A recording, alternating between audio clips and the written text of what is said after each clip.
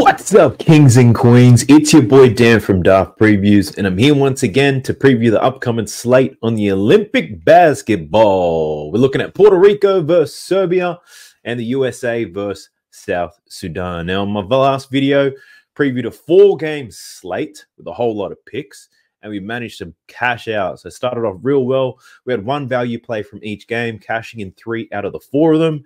In the first one, we had Santi Aldama and Papa Nicolau. They made it rain for us in the Spain versus Greece matchup. Then in Australia versus Canada, we had Landale. He got cooking for us in the fourth, and Dillon Brooks. He hit a three pointer with the last few seconds to put us over to cash that bet. We also had Andreas Obst. We laddered him to four plus three pointers made. He did finish on three, but he did cash his over 1.5 three pointers made, and he hit the plus money play with three plus. So Batum was the main letdown versus Japan. Uh, we needed him for at least two three pointers to make a little bank.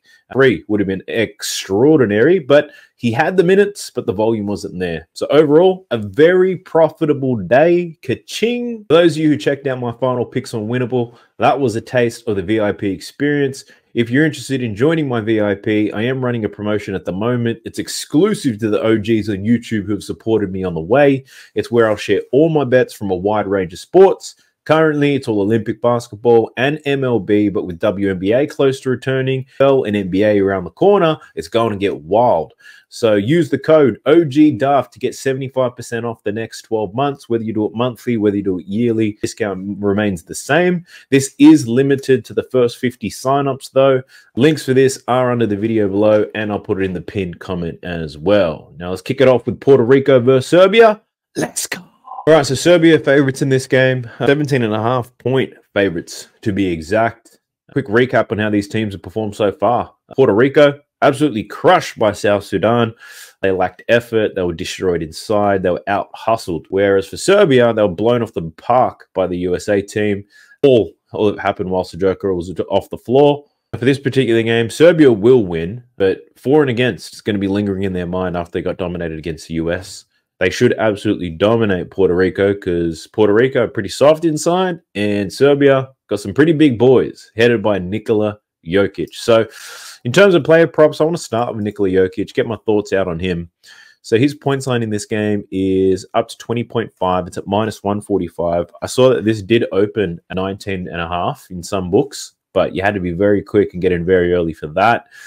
Now, Nikola Jokic should dominate. The aren't great for a straight bet. So for DFS players, it could be something to look at. He did score 20 against the US.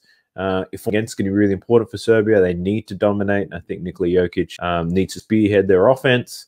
Doesn't often score 20 plus points playing for Serbia, but in a game like this, it's pretty valuable. The one thing I actually really like about these Olympics is they play to the very last second, whereas the last couple of minutes in an NBA game, is pretty trash. But every possession means something. So even if there's a blowout, I don't think Nikola Jokic sees limited minutes. I still think he plays a full complement and he absolutely beats it and racks up the points. So I do like the over. DFS, PrizePicks, chalkboard, whatever it is. Uh, his over looks pretty good there. But for straight betting, you probably have to combine that with something if you want to get some real value to get it close to a double up.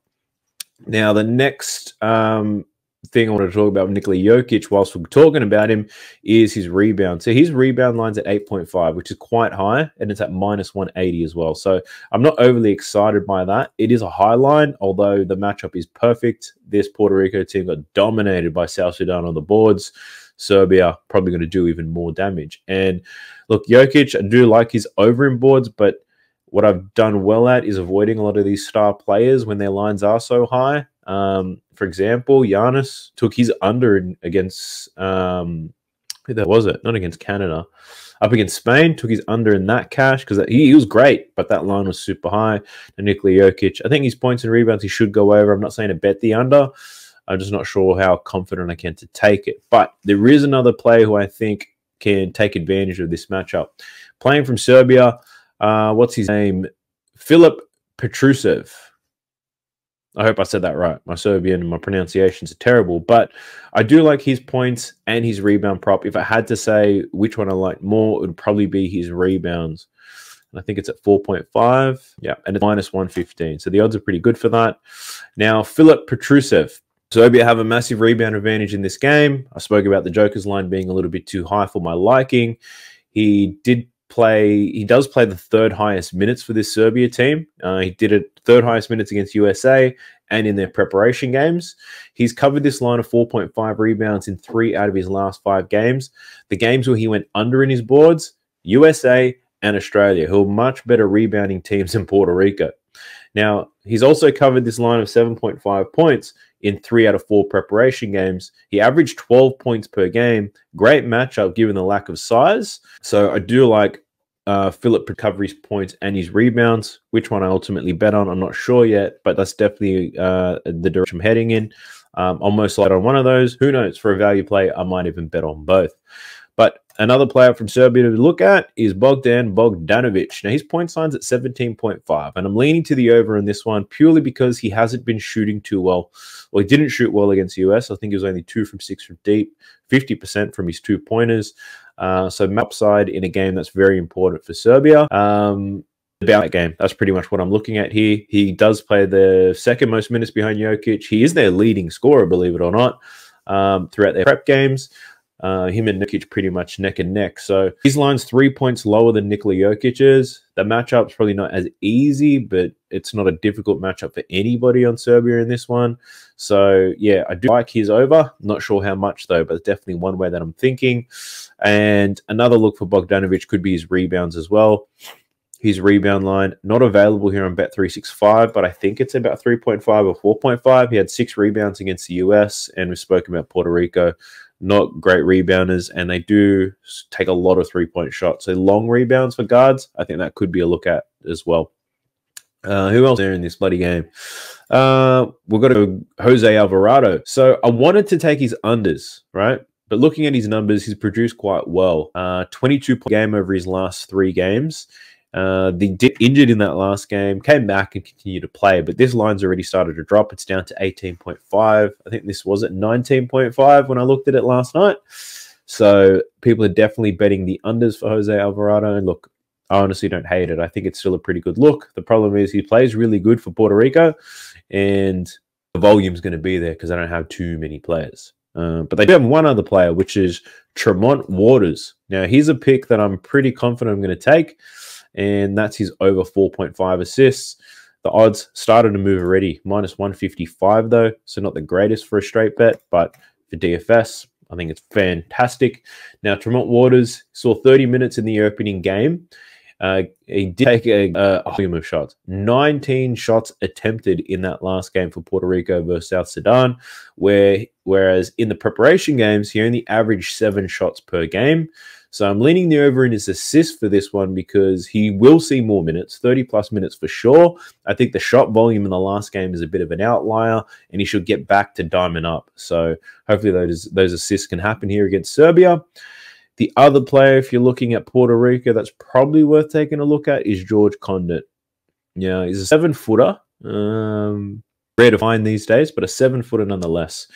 So an unpopular pick that I'm thinking of taking is his under 8.5 points. It is going to be a bit of a sweat because given Serbia's size, they're going to need him out there as much as they can. Uh, they do have Romero on the bench, I think is a seven footer as well. So I think he's going to get the minutes. So it's a bit risky taking the 8.5 points. He did score 13 points in the opener against South Sudan. In that game, he only attempted six shots and he made all six of them. So I don't think he's going to shoot 100% from the field here against Serbia. I also don't think he gets six shots off. So he's also not a great free throw shooter. I think he's about 50%.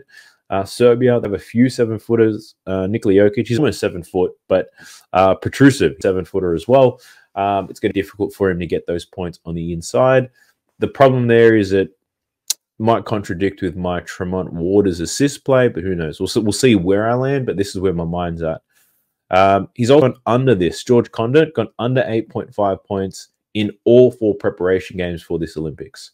So um, that's one that I'm leaning. Another way you could look out for George Conditt is on the rebound side, 5.5 boards. We know Puerto Rico not a great rebounding team, but he is their best rebounder. It's going to be vital for him to get some sort of rebounding happening.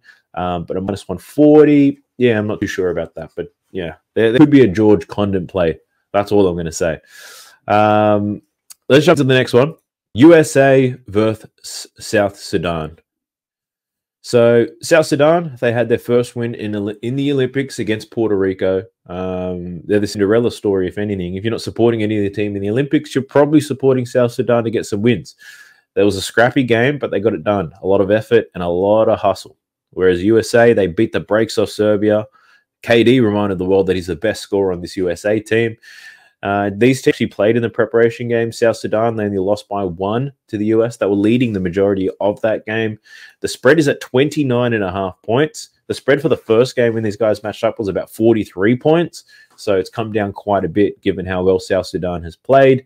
But keep in mind that USA were fucking around with a lot of lineups and it almost cost them the game. So a lot of people predicting them to the US to to pump, and I don't know if I can take them at 29.5. I looked at totals, to and froing, and I couldn't really land on anything. But let's talk about some player props and see what's standing out to us. The first one, um, looking at some of these South Sudanese boys, uh, one that caught my attention is this guy, Marial Shayok. Now, his point signs at 14.5. You'll get rid of this. 14.5. So he only scored 15 points against Puerto Rico right? Easy matchup, only scored 15, but that's actually his lowest total in quite some time for international ball. In the last two prep games, he scored 27 and 25 points. One of those games was against the USA. Now, he's a high volume three point shooter. I assume here that South Sudan are going to be chasing some points in this game. He also, well, this is partly the risk, but it could be a reason why you take it. Is the last time these guys matched up with the USA, this guy, Marial Shayok, shot six six from twelve from deep against the USA. So he absolutely scorched them.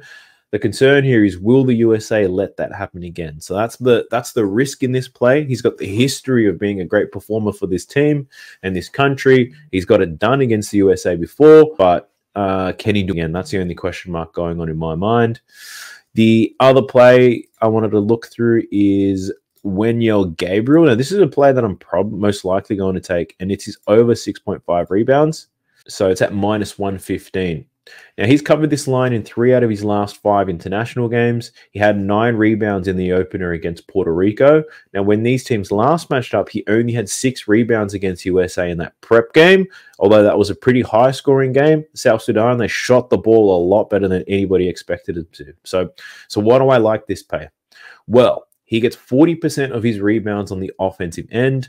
I don't expect South Sudan to shoot as well as they did last time, which should give him more opportunities to hustle some boards for us. So he's no stranger to a lot of these guys in the US. He's a fringe NBA player, but he does get to play against this caliber of talent every single day. So I don't think he'll be overawed by the situation. He should get about 20 minutes. And if he's getting 20 minutes and South Sudan are throwing up some more bricks, I think Wenyen Gabriel can get over. If you can bet just his uh, offensive rebounding prop, I think that could be a great look as well. It'd probably be at three, 3.5. Um, but yeah, I'm looking with Gabriel to get some boards. His points, I'm a bit on the fence about. He can get it done. and he scored 10 in the opener.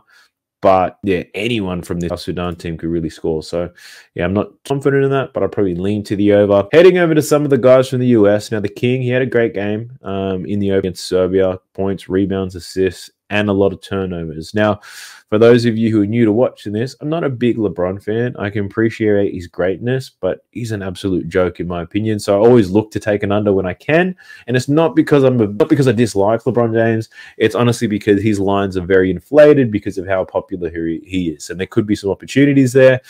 When I scoured the market, he's got lines of 5.5 rebounds, 6.5 assists. So I'd be looking at either he's under in assists that's one way that I'd be thinking. So he's only exceeded the assist line in one out of his last five games. That's 6.5. I think that last game against South Sudan, he had six assists.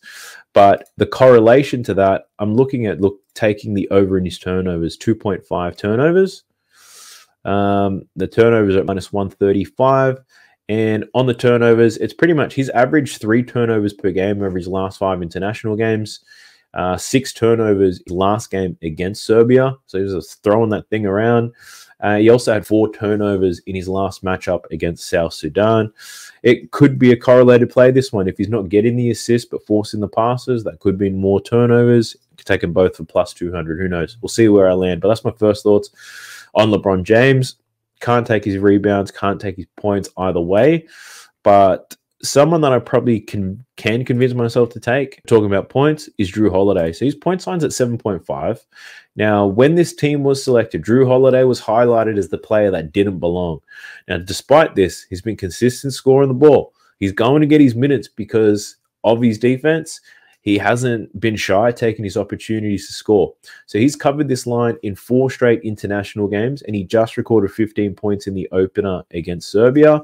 He doesn't shoot a high volume of shots, but his percentages are quite high. And at a line of 7.5, you technically just need him to make four baskets. But he does take a lot of threes. Realistically, if he's making some threes, he only needs to make, I'd say, three shots in total. If he's gonna, if he's guaranteed to make one, well, he's not guaranteed, no such thing, but um, pretty confident he makes one three pointer, which means he probably only needs three total field goals in order to cover seven point five points. So I do like Jrue Holiday and his points.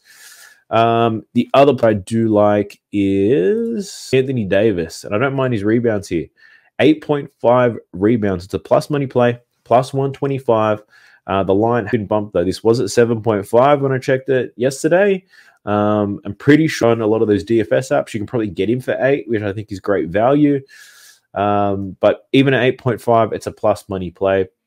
He averaged 9.8 rebounds in only 18 minutes through the prep games. I expect him to get at least 20 minutes in this game. He recorded 11 rebounds in their last matchup against South Sudan. He played 21 minutes in that game. Uh, and in the game, this Sudanese team shot the ball really well. So the script in my mind is that this Sudanese team probably isn't going to score another 100 points against the US. They're not going to shoot as well, which means there's going to be more op- rebound opportunities thanks to USA improving their defense in this game because this shit really matters. Um, but yeah, like Anthony Davis boards, it is a plus money look. Outside of that, when I did my research, nothing really screamed out to me. Um, a lot of these lines you could say are sharp. I think one thing that came to mind is this Jayson Tatum stuff. A lot of news around him not getting any minutes. Kerr said he will have his opportunity at some point in the future. Is that today? Does that mean that under 15.5 points for Kevin Durant is a play?